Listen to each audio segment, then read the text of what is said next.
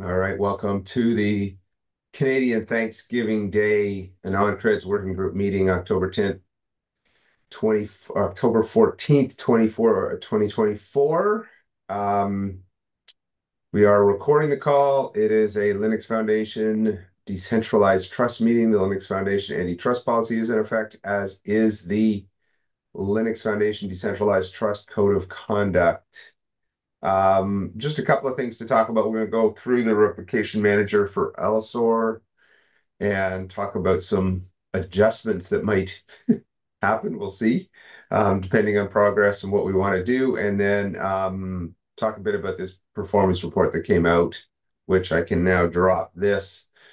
Plus, um, had a talk or had a brief exchange with the um, author of that, and he's agreed that he should drop the plus off of the BBS um, title for that, and he did. So there you go. Okay. Um, revocation manager. So let me start with my understanding of this. We started with this understanding of um, the revocation manager and the interaction. So you would have an independent issuer that would um, request creation of a rev reg from a revocation manager and would get back from that an identifier and an accumulator and a and a timestamp for that accumulator from the revocation manager. And the and in order to create the revocation manager, there has to be a secret key that is managed. And then um, the issuer would inform the revocation manager when credentials elements were revoked so that a state of the registry could be maintained. And at at a, at some at that point, a another accumulator and a timestamp would be returned, and the issuer would publish that accumulator and timestamp. Now, and then, so now we have a way to create a registry. We have a way to update the registry when revocations occur. And then the holder, when when the issuer issues them a credential, they would issue them a credential with a revocation registry element, a um, I guess in a, uh, they would also be able to get the accumulator and the timestamp. They would also get a witness associated with that accumulator and timestamp. Now, what I didn't understand was this step, which is the holder periodically, when when they need to present something, goes and requests an update of their witness for a given accumulator, um, given their past witness and get that from the revocation manager. And the revocation manager would use the information they had, namely the set of elements that have been revoked. Now, my understanding was, and I believe I'm wrong, and so that's the first check, is that the revocation manager to update the witness needed to know the secret, but it doesn't need to know the secret, correct? Correct. Okay. So what that leaves the When you mean possibility. secret, you mean secret key or the element? Exactly, the secret key. Yes, that's true. And so what that leaves the possibility of, and I should have drawn this, and I apologize, and we could maybe do it on the fly because I'm pretty good at um, UML for this. But what that leaves the opportunity for is that this these two arrows, the revocation manager could be split based on these two arrows and this arrow. So the rev one function would be to create the revocation, return the accumulator, and that can can safely be done, if you will, safely being in a privacy preserving way without MPC. And it, it doesn't need MPC. Um, so these set of functions could be done there. And then as long as the revocation manager could get a hold of the elements and um, the accumulator, so all of the public information that gets published, the public information being the data that get published on the ledger plus the list of revoked elements. Um, this task could be done in an MPC manner independent of this this other task. Does that make sense? So I must not be explaining myself clearly because, like, to me, I was always saying the update witness doesn't require the secret Yeah, yeah, no. at Me, all, it- and it doesn't yeah. require MPC at all because the nodes don't even have to talk to each other to do it.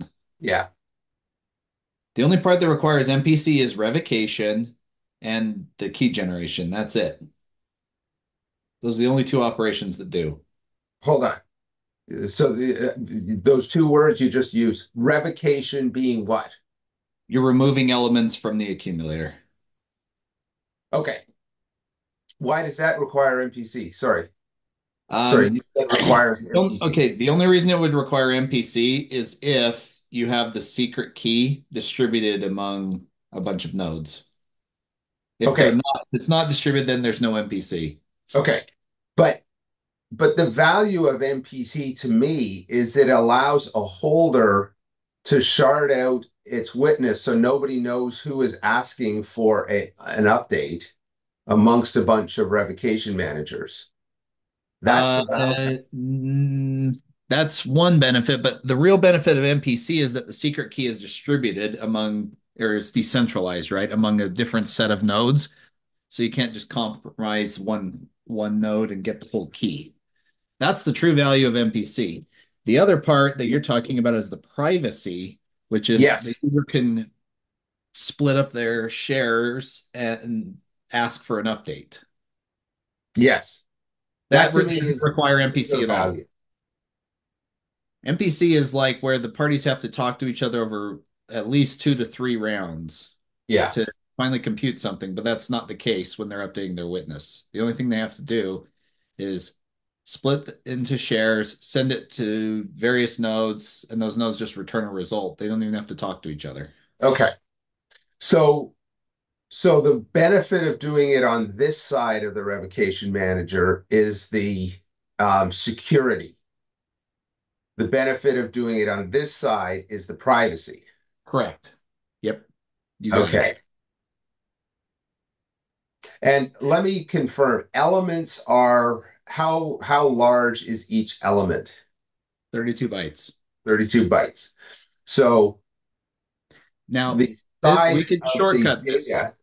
You could shortcut this, Stephen, and just do UUIDs, and then they then you convert them to elements on the fly if you want to really compress data.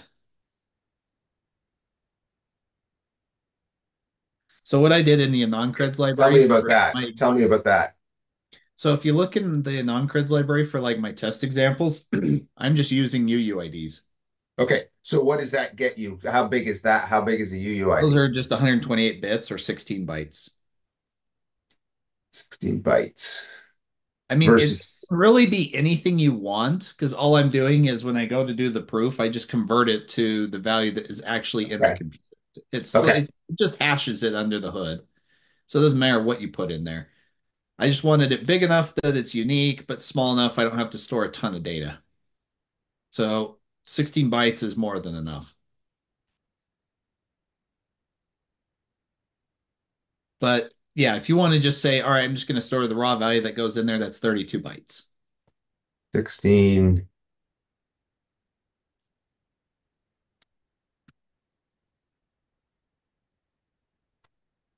So that'd be, so if you have a fully revoked 1 million credential registry, that would be 15 million, or sorry, 15 megabytes. Oh, you, okay. So you're talking 16 bytes per value, and it, Yeah. all of all million of them are revoked. Yeah, you'd have 16 megabytes. Yeah, 16 megabytes. Yeah. which is not an outrageous size, especially for a revocation manager. Nope. It's not bad at all.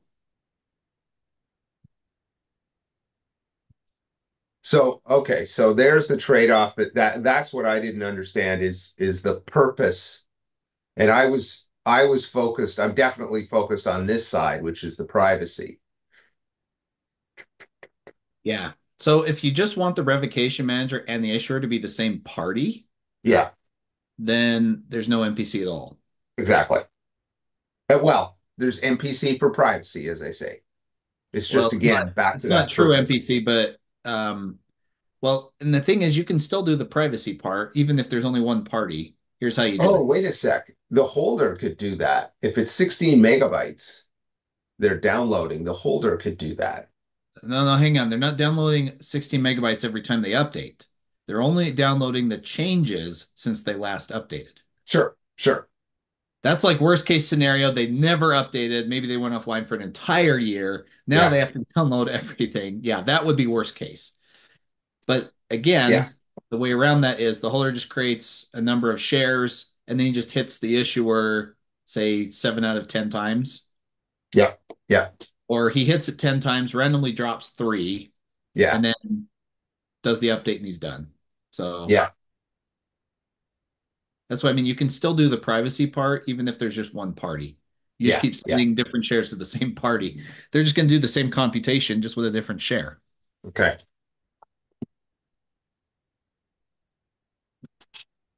Fascinating. I'm confused. Um, so the Yeah. up update witness doesn't require MPC, does it? No. Okay, uh, but but but the rev revocation does, and in order to in order for revocation to use MPC, we have to first distribute the keys, which is part of the create revocation registry, right? Yes. And if you want, I can walk you through the code to do key setup. No worries. I'm looking at the uh, the Gennaro DKG path, but but I do have a question. So so so we are we are setting up this distributed system. How how do different nodes talk to each other through API calls again? Well, so that's the thing. The cryptographic library I wrote, make sure you're using the 1.0.0 branch, not not main. Um, it's a lot easier and simpler. But you can we can design that however we want. Do we want gRPC? Do we want REST calls? It doesn't matter. The reason I didn't design that in directly into the protocol is because different networks have different needs. Like Lit uses gRPC, but initially they were using REST. But the cryptographic protocol is agnostic to the transport layer, however you do that. You're you're talking about RESTful API, right? Well, they do. So initially, yeah, they were doing REST calls. Uh-huh. Um, so when the network is up, like I'm just going to tell you how Lit does it.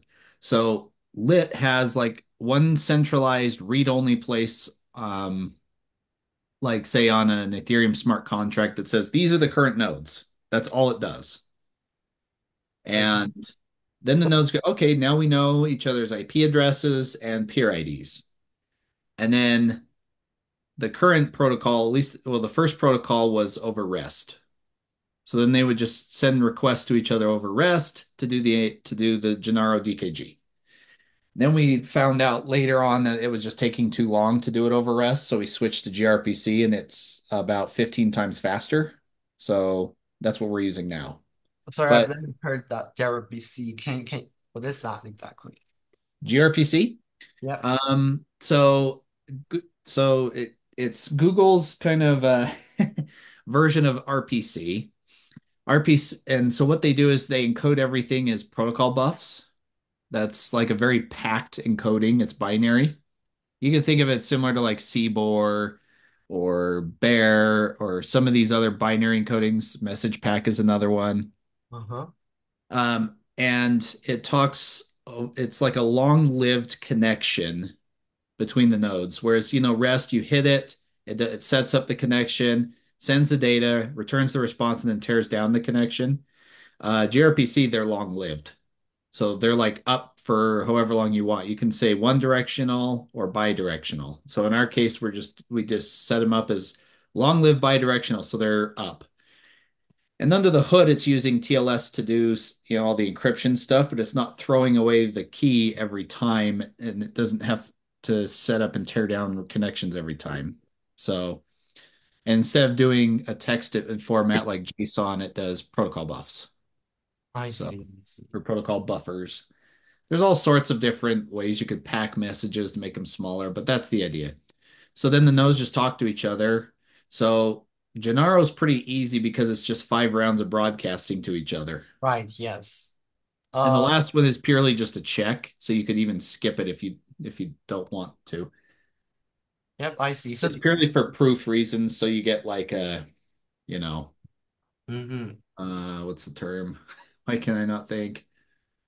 Um, yeah, it's purely for uh, CCA security is what it is. Uh, could you could you spell gRPC or PC? Um, hey, uh, Stephen, do you mind if I share my screen? Sure. Somewhere, somehow, I'll do it. All right, hold on. I've got three desktops here. I got to figure out which one I want. mm, yeah, there we go. That's the one. Okay, so so like it's gRPC like that. Oh, gRPC. Okay. So there's that one. So then if we go look at um and this is the one that's been audited. It's uh I've got it in a release candidate, so let's go to this one. You'll see there's like various rounds, but all you're doing is you're creating um a secret participant or a refresh if you're doing proactive secret sharing. But anyway, all you really care about is this. Um, and pretty much all you're doing is calling, uh, where is it? Run. Yeah, you're calling run and receive, and that's it. So if we go look at like the tests, let me go to the repo. It might be a little easier to read.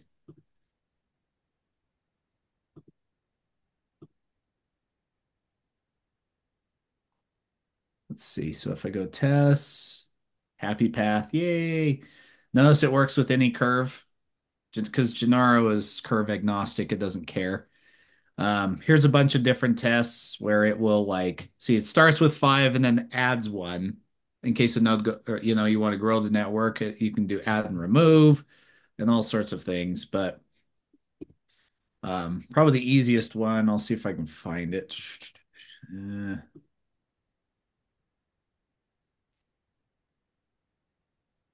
Uh, trying to remember all the tests I wrote. I had to write a bunch just to make sure it was working.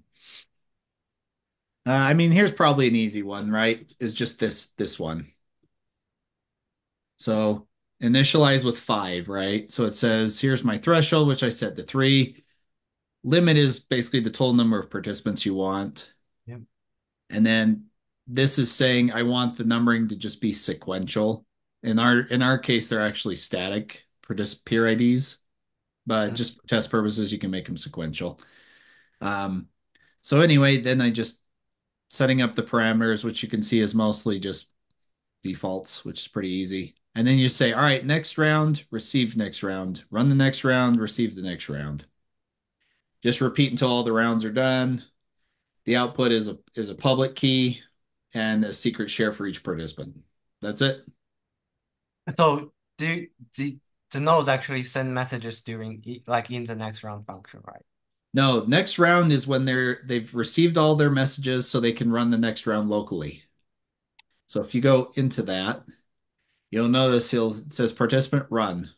Okay. If we step into that, it's you're gonna see um, where is it? all right, I know where it is. So how how does uh nodes send messages to each other? Well, so all right, let me go back. Sorry.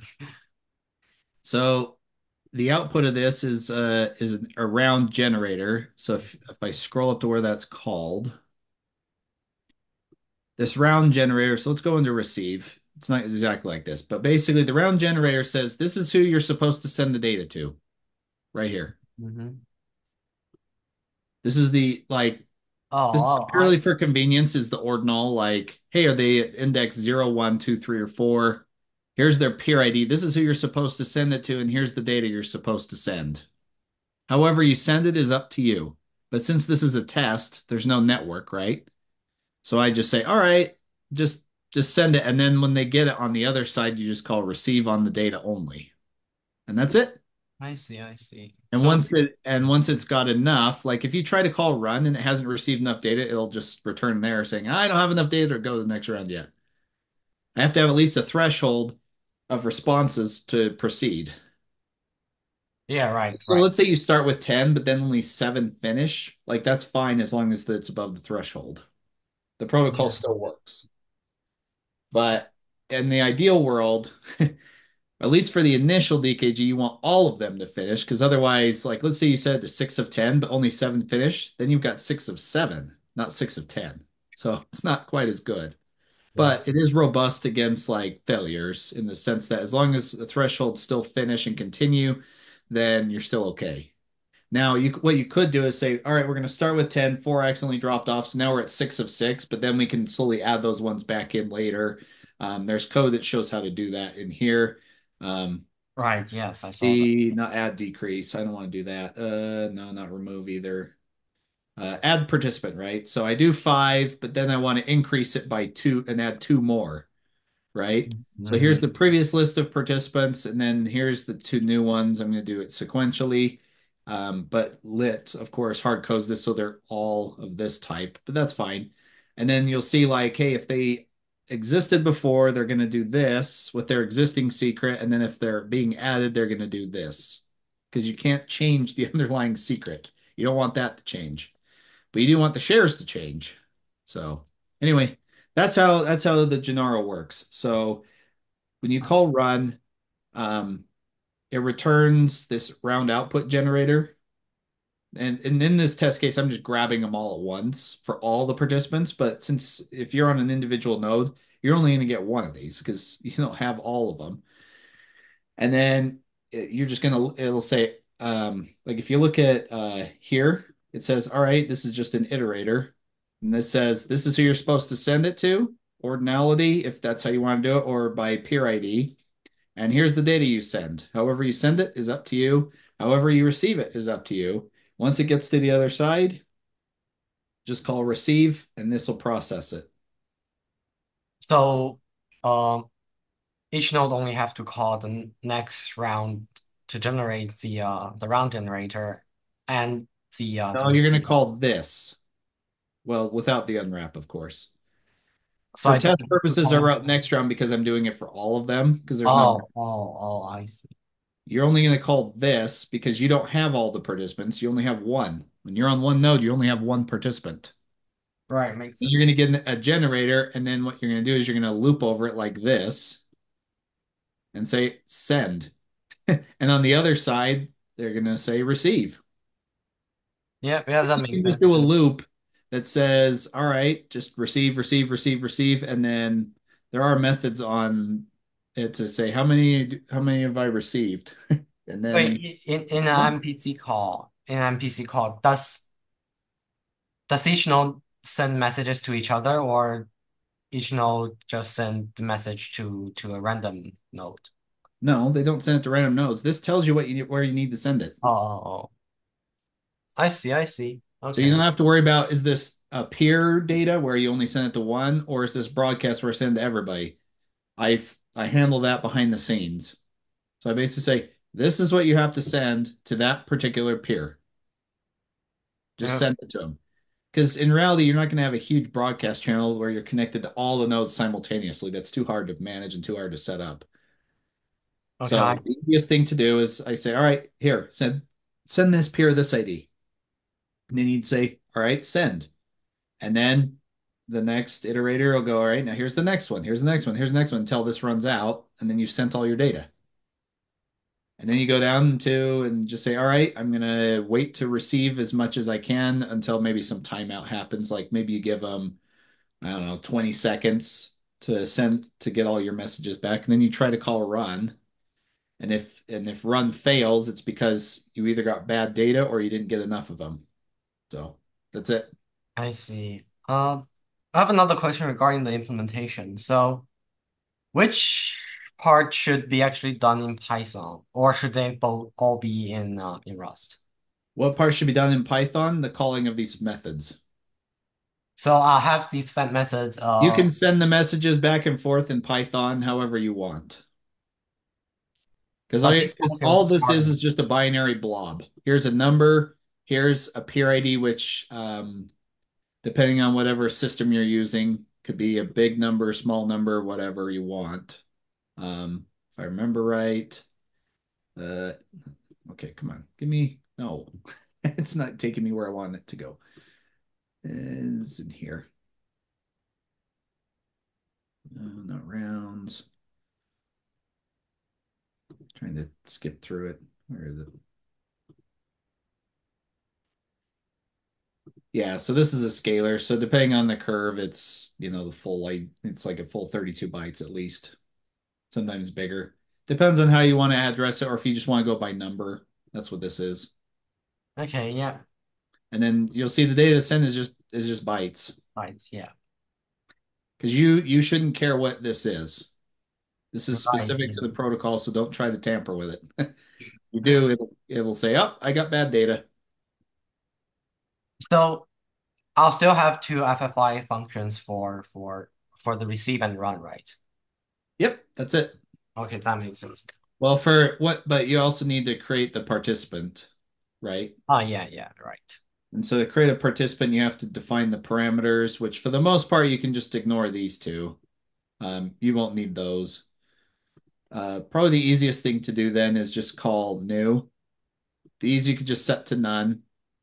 And if you wanted, you could just set this to none as well for simplicity reasons. And then all you have to do is tell me what's the threshold and how many participants there are. That's it. Okay, okay. That's it. Yeah. That's the easiest part of MPC. That's why I said that one's already done. The the part of deleting and removing elements, that one's a little more complicated. But I've got the Beaver triple generation done, which is the hardest part. But it's going to be similar. Basically, you tell me the I'm giving you the data and you send it however you want. Mm-hmm. Okay, that clears things up. Thanks. Okay? Uh, and then see, Stephen, uh, Stephen, last week you Yeah. mentioned, uh, last week you mentioned that we don't need, uh, don't need, don't need MPC, but we still need, right? So, so now I'm, well, from And my here's the audit report for you and for both Stevens. Here's your nice For- audit report. Oh, So yes, it was audited. oh, Yeah. good. Good. So everything you see in there is audited. So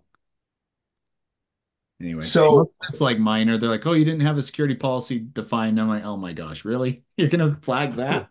All right, fine, whatever. Okay, so the issue here is, so that focus in that conversation you just had was about key security. mm-hmm. And what I, my focus is on privacy,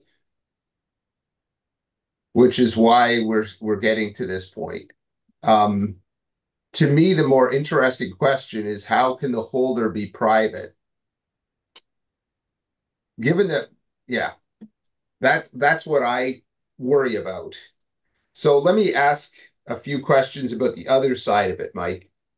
Let's, let's talk about the witness update. Okay. So the witness data can be as small as 16 megabytes for a million credentials. If it's How long, how long does it take? Suppose you hadn't cached anything, so you retrieved all 16 megabytes. And how long would it take to generate a witness from that on a smartphone? Um, so let's see. When I was working with Sam Jaques, if we did it all as one big blob, it took Yeah. a long time, like even on a desktop machine, but we figured out a way to break it up into chunks, like to process it in chunks. Yeah, Well, you so what, what I mean is you would still download all the data at once, but then Yeah. you just process it in chunks and it went a lot faster. I think we were able to do it in just a few, like I don't think I ever did 16 megabytes. I think the most I ever did was, uh, well, actually, maybe I did. Because I have a test where I basically say add 10,000, remove 600. Add 10,000 or add a 1,000, remove 600. Repeat mm-hmm. that, and that represents a day. And then we repeated it for a year. So 365 days. So there's that many changes. Yeah. And if you process it like I just said, like you just do little small batches, it was done within like about 1.5 seconds on my desktop. So on a smartphone, probably twice that. So maybe about three seconds, Three seconds. Which is still reasonable, but probably not desirable. Yeah. But that's the extreme case. That is the extreme case, correct? Yeah. So you've got, and and just a matter of interest, um, when you count when yours has been revoked, the result is zero, right? Or something obvious. Uh, yeah. When yours is revoked, it the basically the update function does the equivalent of try to divide by zero, Yeah. Okay. and then it goes, So I can't divide by zero. That gives you an invalid value. yeah. So, So there's no need to go first check to see if yours is invalid because that would just take more time. So you don't even need to do that because you just do the calculation and if it if it errors off, then you're you get an exception, you know yours is revoked. That's right. Okay, good. And so I'm thinking of the the case of I'm I'm trying to go through practical cases. So if you think about um driver's license, for example, eventually if you relied on revocation for um a driver's license, you would eventually have all of them revoked. But if you used expiration, put an expiry date on every credential, you would actually have relatively few revocations. Therefore, the the actual size of the revocation registry would be small. Yeah, so if you're doing both, you're basically saying if it's expired, then there's no reason to check if it's not revoked. Exactly.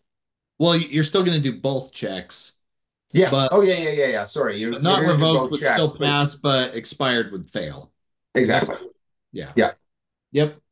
Yeah, you can do And both. and in theory, if if you didn't do deltas, you could do unrevokes as well. Correct? If you, mm, So if you always got the full list of revoked credentials associated with every accumulator, in other words, you didn't ever use deltas, you always just gave the full state. Um, it doesn't work like that because what the deltas do is are basically like computations done by um, whoever holds the pri the re- revocation key, the secret key. Right? It's like a pre-computed computation on the actual data plus the private key. It's like pre-computed stuff. Right. But if you always publish the state being here is all of the elements that have been revoked, and here's the accumulator, if you totally changed which ones were revoked and unrevoked some, you just get a new state, wouldn't you? No, it doesn't work that way. How come? How can it not? because there might be a so if you get you're saying basically if I take the latest accumulator and I have every value that's been revoked Eh, Wrong. I, what I'm saying is every time I produce an accumulator, I also provide the full state of the full list of every revoked credential that contributes to that accumulator. yeah so how would you create a new witness from that So, and then I use that to create a witness. Don't I, don't I, don't I create a witness by, by taking the list of revoked elements and processing it to, along with my own element to create a witness? well you don't use your witness or your element at all to create a witness remember under the hood it's represented as the accumulator without your value in it Right. But I, but in other words, the problem is you don't know all the values that are in it you'd have to know those too Yeah, I know. That's what I'm saying is you you'd know all the elements. in it and and removed. Oh, oh, in it and removed. You have to know both. Okay, so you can only revoke things. You can't unrevoke things. Oh, you could unrevoke. Yes, we could unrevoke if you want. That's unrevoking is is yes, you can unrevoke. Okay. So if I always provide with every accumulator the full list of all revoked elements. So if this, so if there was a chunk of data that the issuer published that says, here's the accumulator, here's the timestamp, and here's the list of, of all UUIDs of revoked credentials. And the holder grabbed that, it could calculate its own witness, just like AnonCreds does today. No, it can't do it Oh. unless you know everything in it and removed. You'd have to have every element ever issued. You're going back to the old way. Okay, so you can't do that. So hold on then. What does the revocation? You're basically wanting a tails file. If you go back to a tails file, then yes, you could, but we don't I want thought it was, uh, sorry, what I thought we were doing here was you're, it's like a tails file, but it's only the unre, it's only the revoked ones. No, no, no, no. No. So what how it works is the only thing you actually ever need to publish are the are the deltas. A delta is like specific, it's like data that's that's pre-computed by the revocation manager. Oh, I see. So it's not elements, it's deltas. It's deltas, yes. Okay, So basically what the revocation manager does is he takes the current accumulator, the values he's going to remove, and does a computation. ah, okay, The computation results in two outputs. The first is Yeah. the new accumulator, the second are the deltas. and You how big is the deltas? Uh, well, it depends on how many values were removed. It's it's like logarithmic. So if I let's say I remove 100, then I get 10 deltas, And how Something big are, how big is a delta? 48 bytes. So they're not very big. And it's, the ratio is, It's it's Is what? it's about it's about log 10, right? It's not exactly that, but it's close. So if So I if I remove have a 1,000 million elements, I get maybe credentials- 100 deltas, roughly. so if I have a million credentials, but it, but it depends on how often I revoke as well. Um, no, the deltas only care about going from step A to step B. Okay, Now, getting to your point, if I haven't updated, like I got a, an accumulator at step one and now it's at step 25, I have to grab all the deltas from in between. right. And that's what I'm assuming is, and that's what I, when I say full state. So if the holder were to do it with no cache, they would always have to get all deltas. Yes. Okay.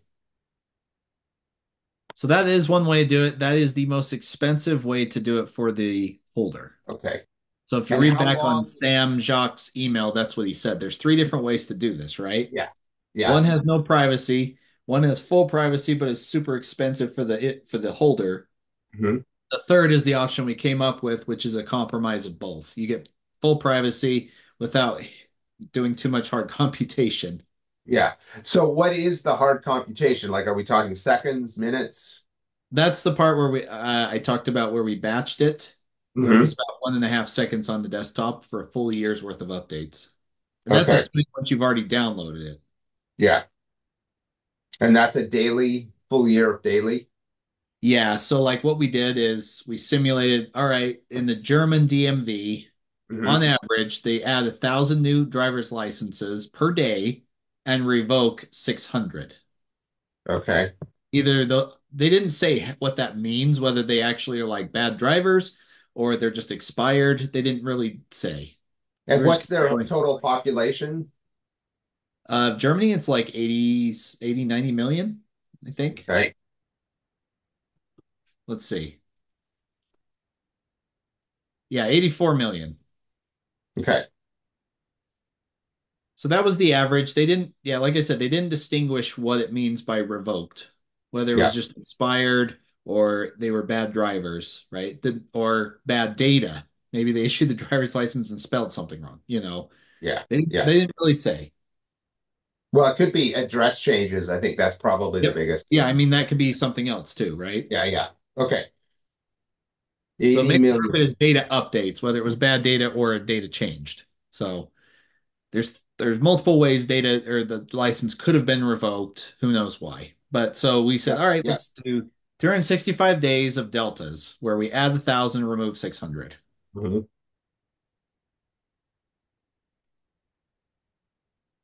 And and in doing that, But that was also back when we were adding deltas for ads. Because we wanted to see what Oh. is the absolute worst case. So, because ads and removes were changing the accumulator, but then we said, oh, well, let's make it so we only have to change the accumulator on removes. So okay, actually shrink it. yeah. And log to the 10 would be 60. of 600 would be 60 Yeah. times 48 bytes. Yep.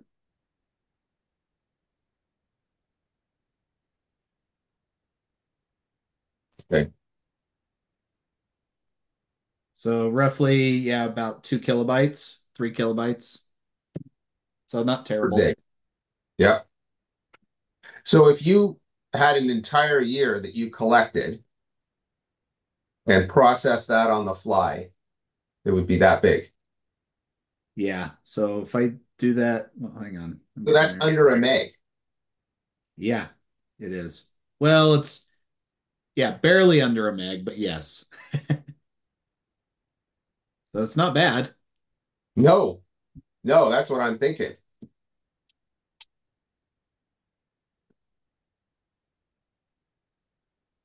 Because the biggest thing we need, the biggest problem we have is is the privacy nature. There is no like there everyone's doing all this work for BBS plus BBS, I mean, signatures and and the rest of this. And the, issue is you don't have a revocation scheme.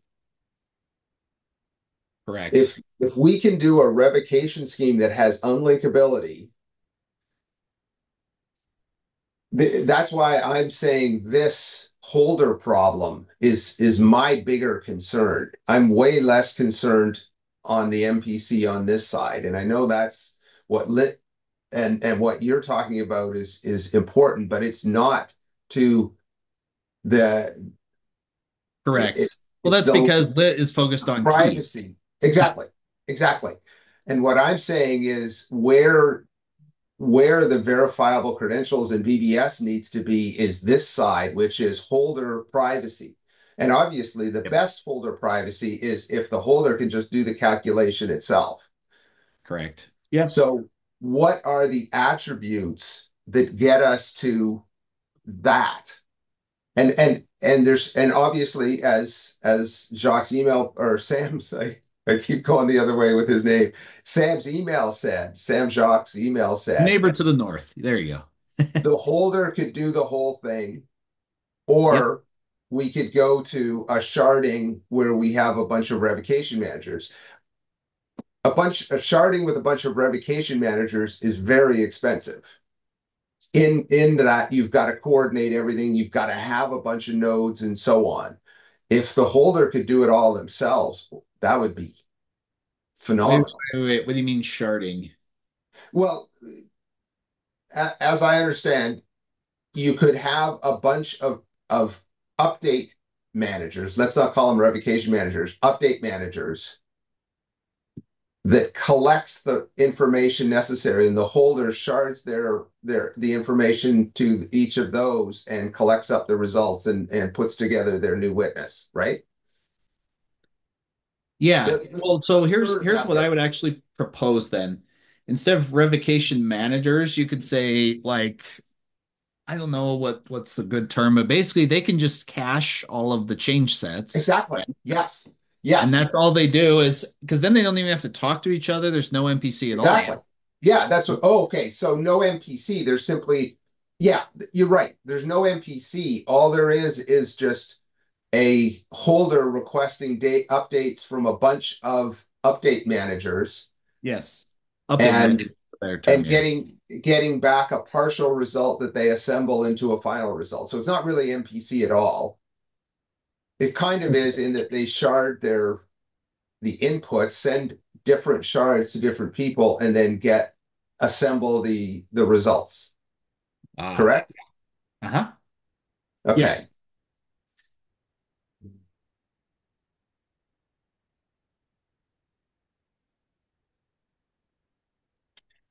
As I say, that that to me is what I'm after. And I thought we had to do the whole thing to be able to do that. And and that's my mistake, clearly.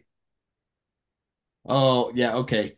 So I apologize if I wasn't clear. Yeah, they're basically it's kind of like an a la carte. You can pick and choose what works for you. Exactly.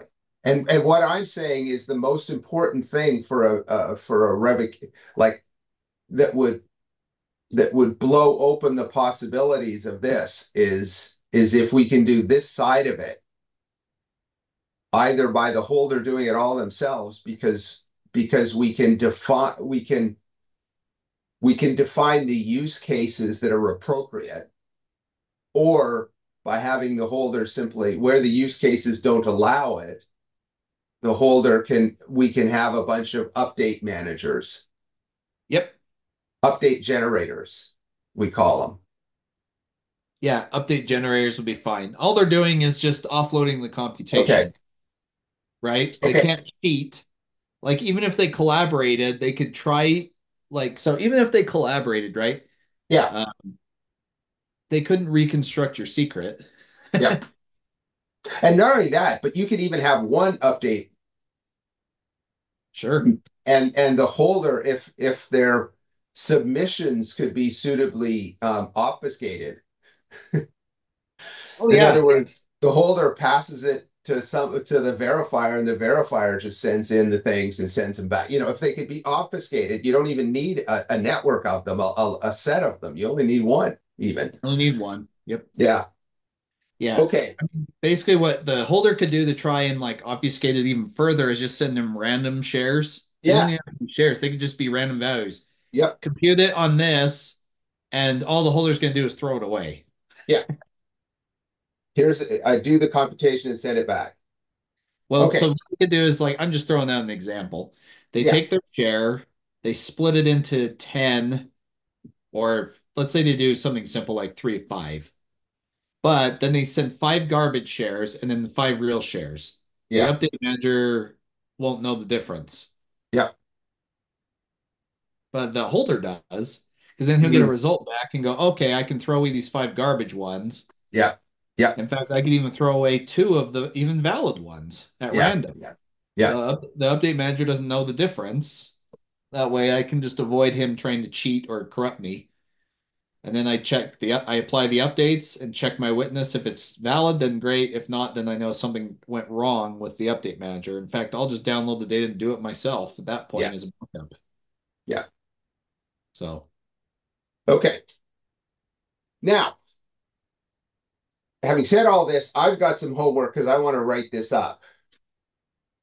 And and that's independent. What where i'm wondering is where does that leave victor? Victor um. whatever you're working on you just need to you, i'm not asking you to, to change anything but um what, what are the from that I, I don't discussion think that has much influence on what I'm doing, right? Mike, okay. Okay no, good I mean, as long as you're publishing the updates, Victor, that's probably the big thing is the is the change sets. what do you mean the updates? So remember when you revoke, there should Uh-huh, be uh-huh. two values that come back, the updated Yep, accumulator and the change yeah set and the deltas. yeah. If you're already and it's returning that, then you're done. Okay, okay. okay Yeah, then it doesn't have much influence. Okay. Okay, I'm going to try to write down some notes on the privacy nature of this and um, might get see if we can do some calculations on on different scenarios, you know, similar to what you did before, Mike. Yeah. Yeah. That's easy. And then and then we can look at what we can take to IIW or something like that to say, what if we did this? Yeah. So like the worst case scenario, you go offline for a year, for example. yeah, exactly.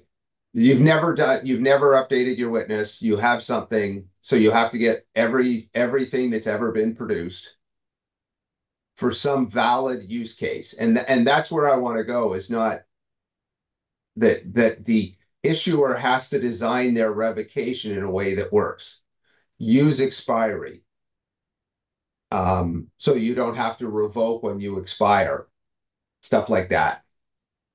Yeah. Because if you just make the assumption, oh, you're going to have to revoke every credential and every at some point, well, that's uh, that's the worst case scenario for this for uh, the worst use case for this um, mechanism. But as long as you avoid those, um, it sounds like we can make this very efficient or, or sufficiently efficient. Right. Yeah. So the only time you ever revoke is because there's data change or malicious. Exactly. That's it. Yeah. Yeah. You don't ro- revoke for revocation purposes. Okay, excellent. Super interesting. Um, back to my forever question, Mike. Any any chance? Um, so this the BBS just keeps gaining momentum as the valid way to do this. There, to me, it's coming down to there's two ways um, to handle credentials that it's going to come down to practically, which is either BBS gains sufficient support or uh, the non-ZKP batch issuance is done. And right now, from what I can tell, the only difference between those two is that the issuer knows all. So if the issuer collaborates with the verifier, they they know everything. Correct. And there's n- and there doesn't appear to be a way around that. Um, obviously with, batch issuance? with or- batch issuance, yeah, Yes. because batch issuance can do revocation. Um, How? Because every every credential you use is uniquely identified, but you only use it once. Right. Therefore, So, when yeah, you it's a, a one and done type model. Exactly. Yeah, that's what batch issuance is. One and That's done. not revocation. Well, uh, uh, true, but but you can say, "Oh, I need to revoke this credential," so you you have revoked the hundred copies of them, and you just use a bit uh, a status list, and you're done. Mm. So it is all doable, but the only thing is, as I say, the issuer knows all. Yeah. Um, and Not a fan of that model, but No, but and you have the complexity of you have to make sure the holder knows about one and done and the issuer knows about issuing a hundred, but that's basically what people are doing. Um, that's BBS, that's the only thing they know. exactly, exactly. BBS has the capability to get there, and, and BBS is where the momentum is going. Um, but but as I say, revocation is not resolved, and that's where this privacy preserving revocation comes in. Yep. Yeah. Okay. So as far as where I'm at, like I said, you saw the Gennaro is in pre-release mode. Same with um, the verifiable secret sharing. I am, let's see, next week is when I plan to publish those to Agora. And Okay, then done with those, and then I can add the P the BBS to Agora as That well. be And that'll be in there. And then you'll also see the PR for the, you know, for the AnonCreds too, where you can hot swap the two. okay, that's what I'm looking for. Okay, awesome. The main reason I still want PS signatures is because they're better for MPC. And if we get to post quantum, Yes. is that, do you think that's got legs, that PS post quantum? Uh, Oliver Sanders does. Okay, He's working real hard. I mean, Yep. his that's most why I want to see it there is the, well, I mean, the whole flexibility of it, but BBS is getting momentum, but it doesn't have a post quantum answer, right? Oh, of course not. And Yeah. so that's why I'm So- like, you know, that's why I mean the fact that the post-quantum version got accepted to Eurocrypt, Yeah. that's a very powerful statement. Okay. Okay. And he's Excellent. working on shrinking it. Like like I said, his his last iteration was a nine megabyte private key and an eight Yeah. megabyte public key. Yeah. He's like, I think I can get it down to at least half. And I'm like, well, good, because it needs to be a lot smaller. So, but anyway, um, I think it'll get there. Yeah. And uh, but this this is the cool thing is we can say, you know, you just hot swap the signature. Yeah. Yeah. And away you go. So anyway, and Excellent. Tim Jock and I are working on the post quantum version of Allosaur. Yeah. Exactly. Works very similar. You just hot swap it out, and then you're and then you're good to go. So All right. cool. All right. Thanks. Um, IIW is coming up the end of the month. If whatever progress, I'd like to report on it. All right. Do you want me to do a test then? Well, let Like- me let me put together some notes and and and we'll we'll go back and forth on Discord. Okay, sounds good. That's awesome. Okay, thanks. Super good meeting. Thank you. Yep, no problem. Bye. See ya, folks. Bye bye. Bye. Happy Thanksgiving.